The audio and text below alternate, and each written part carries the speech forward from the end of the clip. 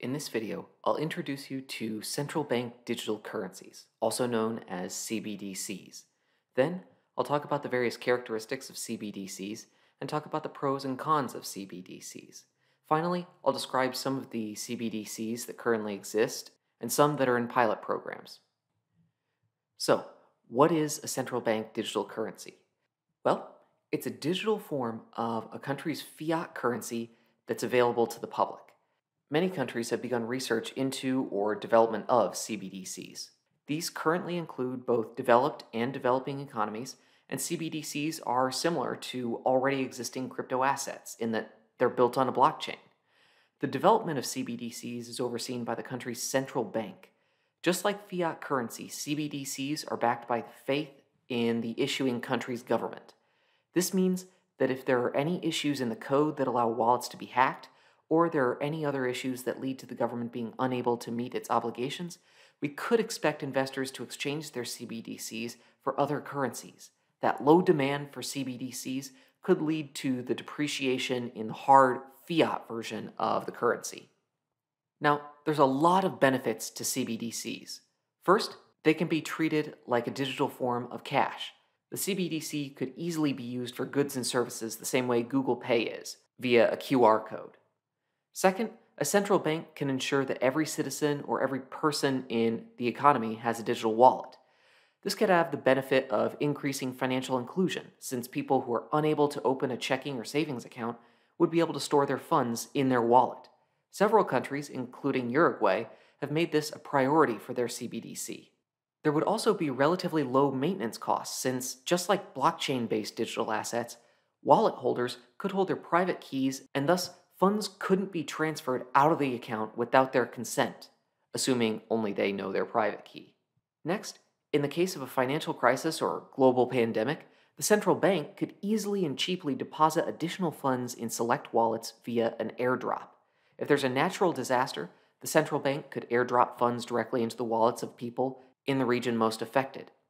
And finally, the characteristics of a CBDC can be adjusted to meet the needs of the country's population. If the government wants to link CBDC wallets with tax records, they could create a KYC or Know Your Customer requirement where people must register at partner banks. There are many other characteristics that can be incorporated into a CBDC that I'll talk about a little later. However, there are also some drawbacks to CBDCs. First, there could be privacy concerns. Since you have a wallet with a central bank, the government would know your balance and transaction history. This can be problematic in countries with authoritarian regimes or a weak rule of law.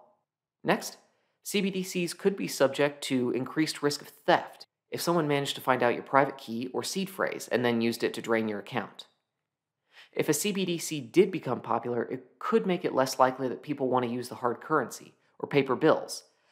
It could be the case that stores stop holding enough cash to be able to provide those who use the hard currency with the appropriate amount of change for their fiat currency.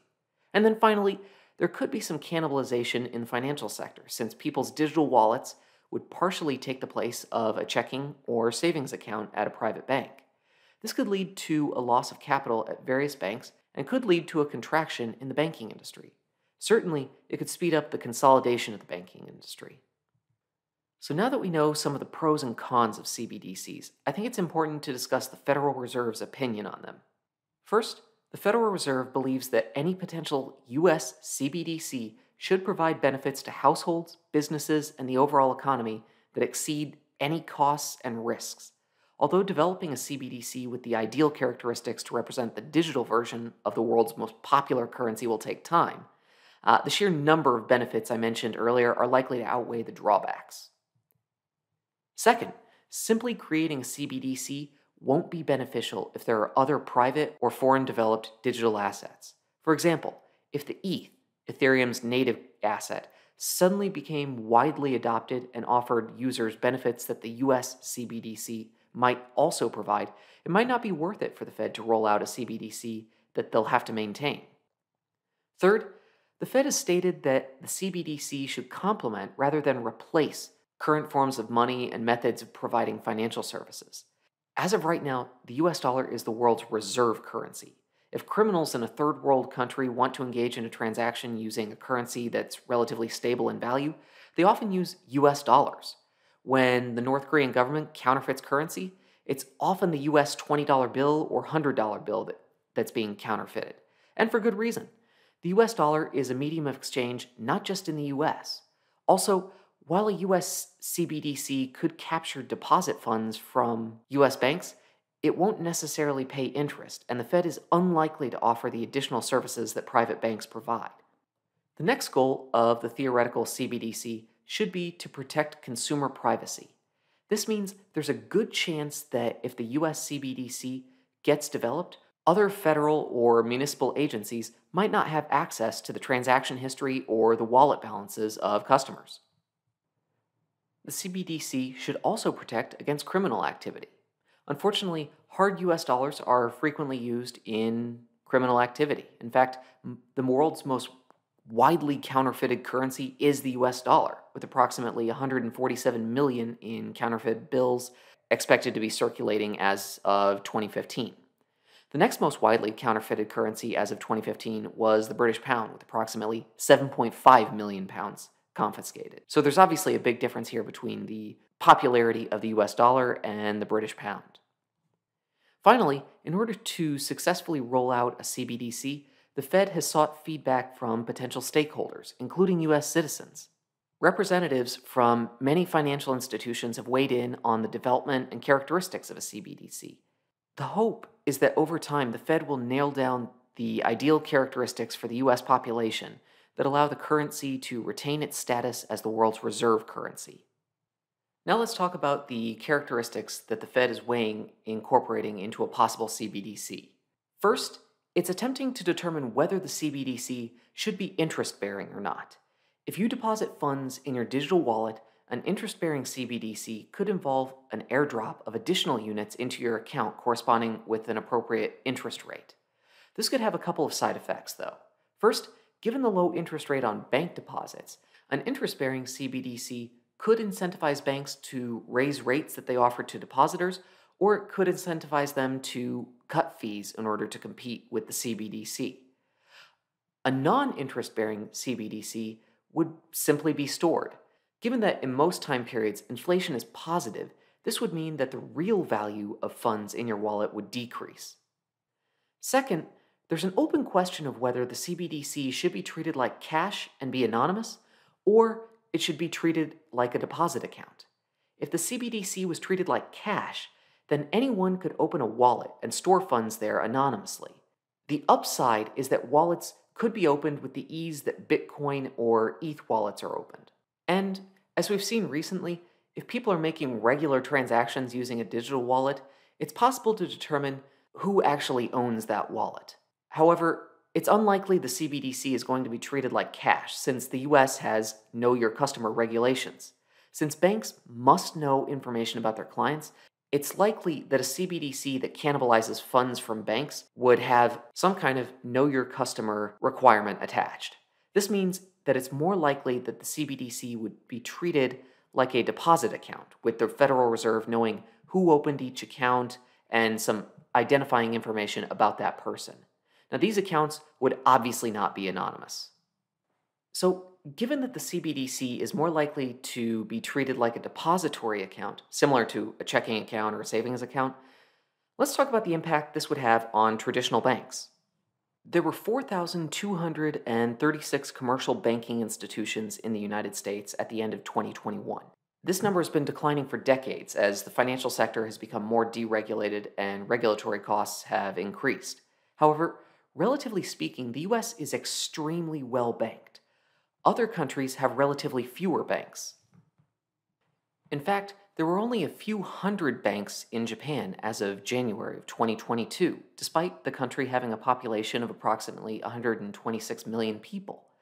In other countries, there are even fewer traditional banks. Notice that in many emerging markets, the number of bank branches per 100,000 people is quite low.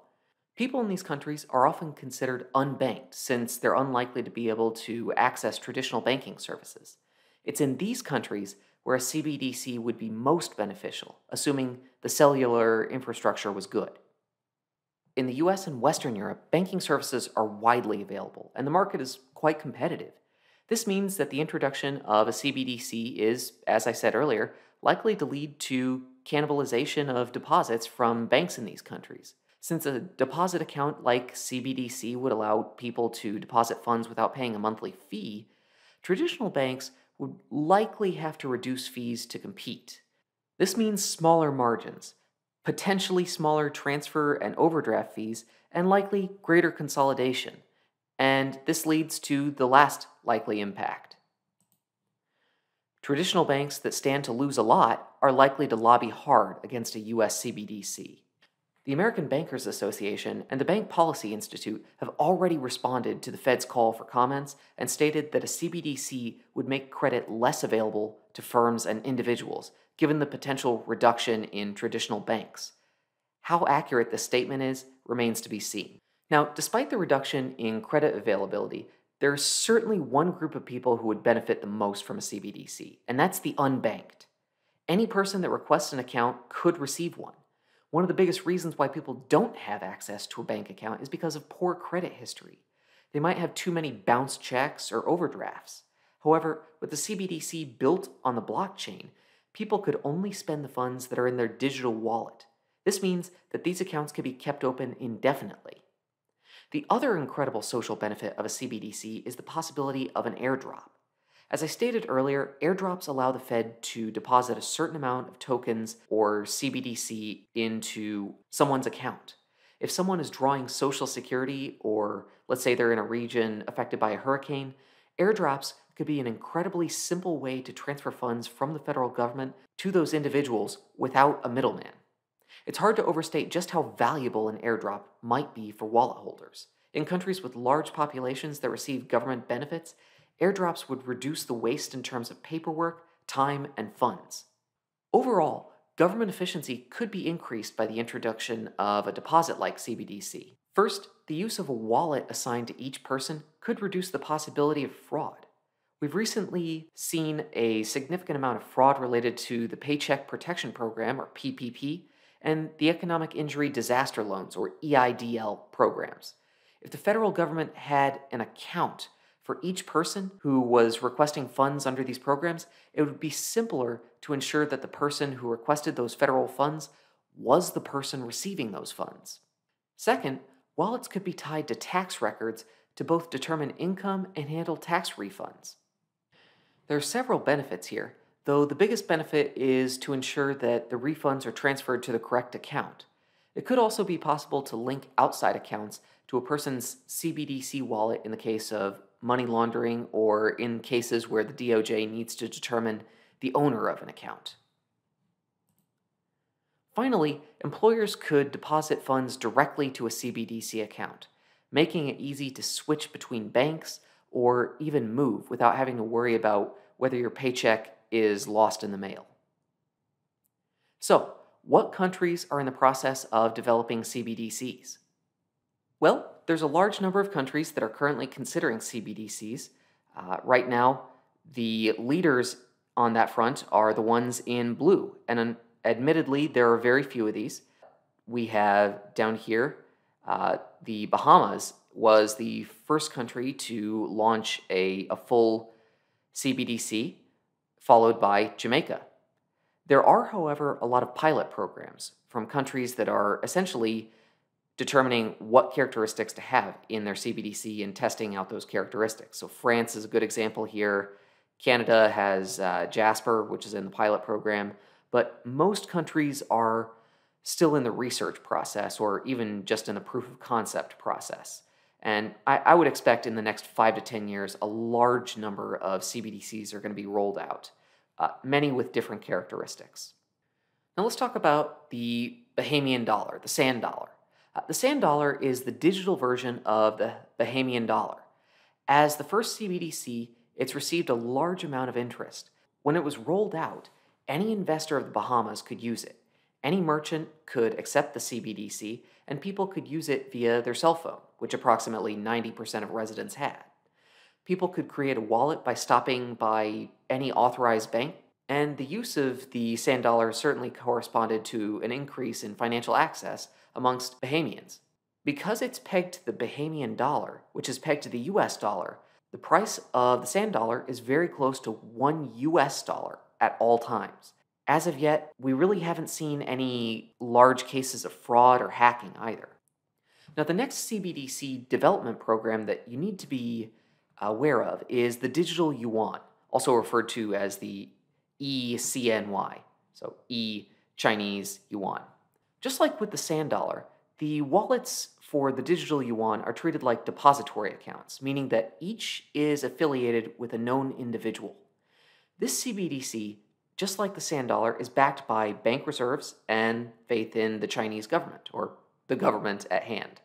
Although it's still in the pilot stage, the central government announced this month that it's going to expand the trial to four additional provinces, meaning that more than 360 million people would be able to use the pilot version.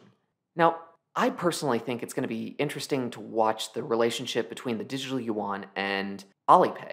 In May, both Alipay and WeChat allowed people to download the digital yuan wallet and use it, assuming they were in the pilot program.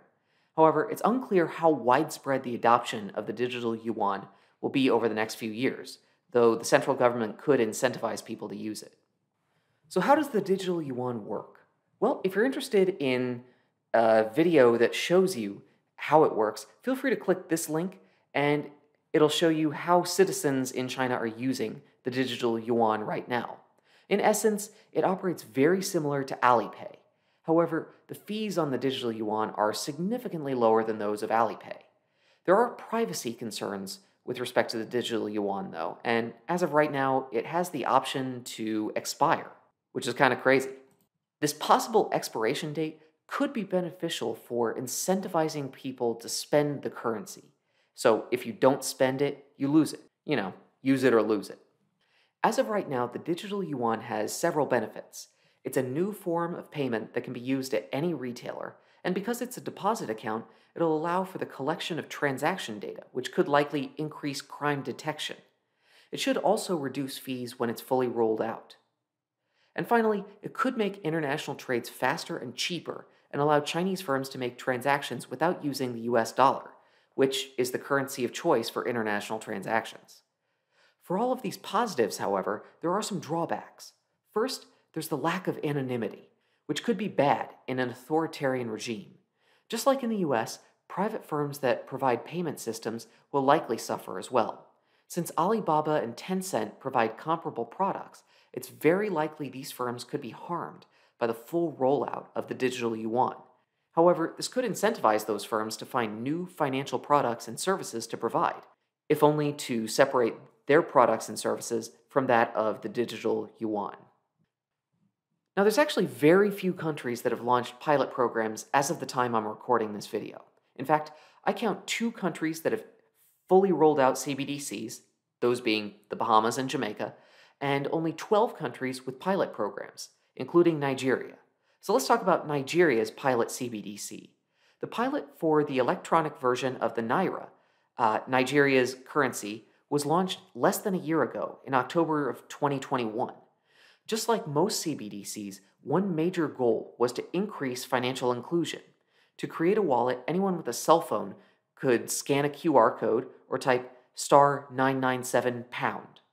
The digital currency doesn't pay interest, which provides Nigerian banks with an advantage when competing for funds. Interestingly, the growth of accounts has actually been quite low, with the total number of wallets increasing by only 100,000 in 2022, despite the country having more than 200 million citizens. Now, there's one final project I want to note since we're talking about CBDCs. The Bank for International Settlements, whose goal is to promote global monetary and financial stability through international cooperation, has begun a project called Multiple CBDC Bridge, or MCBDC Bridge. This bridge is being developed as a platform that allows for the low cost exchange of multiple CBDCs. In essence, as of right now, it's expected to work like a decentralized exchange. This project was initiated to reduce the inefficiencies, high costs, and complex regulatory requirements associated with cross border payments. Many central banks and international organizations have joined this project. So, what impact is the development of CBDCs having on the US currency, the dollar? Well, as I said earlier, the US dollar is the world's reserve currency. It's used in the majority of international transactions, and assets in US financial institutions represent approximately a quarter of total assets in financial institutions worldwide. This means that non US banks can be pressured into refusing to do business with certain entities or individuals, since the alternative is losing access to the US financial system. Countries such as Iran and North Korea have effectively been cut off from foreign banks.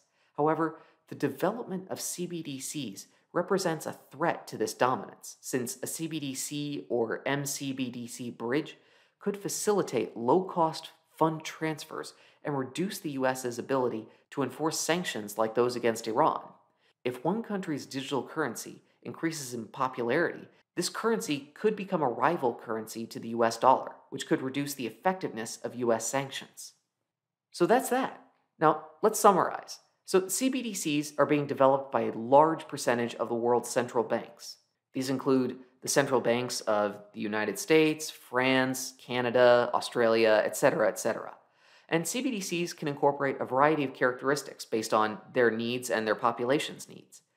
There are several pilot programs or fully rolled out CBDCs in existence, and two of those are the eNaira and the Sand Dollar. And finally, the US CBDC does appear to be several years away from a full rollout.